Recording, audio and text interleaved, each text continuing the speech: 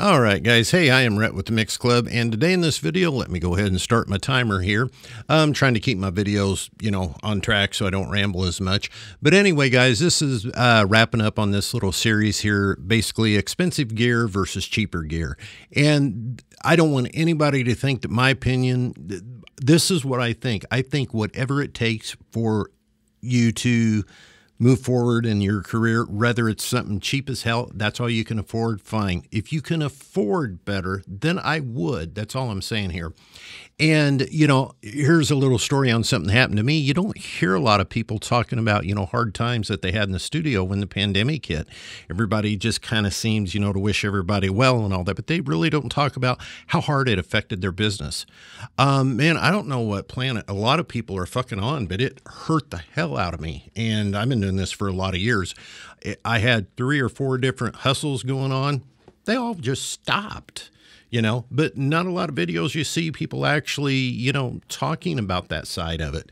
Um, and so here's something that helped me, um, you know, and I'll share this with you. I'm not ashamed of it. It is what it is. Um, I had wanted a new set of headphones for the studio. And I went and I did some shopping and I went where I actually sat down and tested out headphones. Okay. And I went all through the gamut of everything that, you know, I thought I wanted. And I ended up picking the Neumanns. That's what I wanted. And man, they weren't cheap. They were five, six hundred bucks. Okay. And if I could have got something that was a little cheaper and I liked the sound of, I would have. But these were made well. They were closed back. But for me, I'm such a low end guy, you know, coming from live engineering and stuff like I just want to fill the low end. Felt like you could get in there and just edit whatever you needed to edit on them. Okay, so where's this story going? Well, when the pandemic hit, guys, it did a shit show on everything I had going on. It took a while to recover from that. I mean, it was not good. I had a friend that I was doing work for that I haven't talked to him since. He just like disappeared and it was a good chunk of income for me, right? I mean, yeah, he's a good friend, isn't he? You know, hope never see him again. Um, you know, and like I said, I'm not complaining, but you know, I haven't seen a lot of videos where people, you know, actually share that their business wasn't doing so great. You know, it about killed me. And part of what was good is those headphones, because they were nice, they had a resale value. Okay. And the dude that I sold them to was uh, extremely happy to get them. And I was extremely happy to sell them for what I got for them. Okay.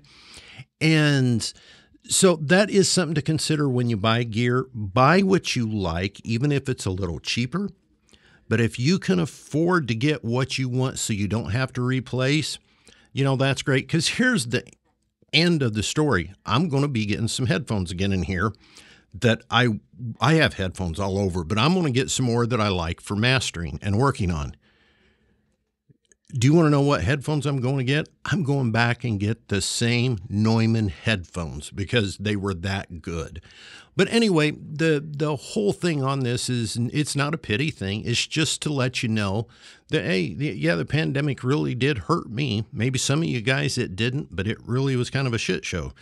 Um, but when you buy gear, I still think you definitely check out used. That's a great option. I don't do a lot of used because I'm always scared of doing it. I'll buy used if it's from somebody I know. It's a buddy of mine that's not going to, you know, sell me a piece of turd.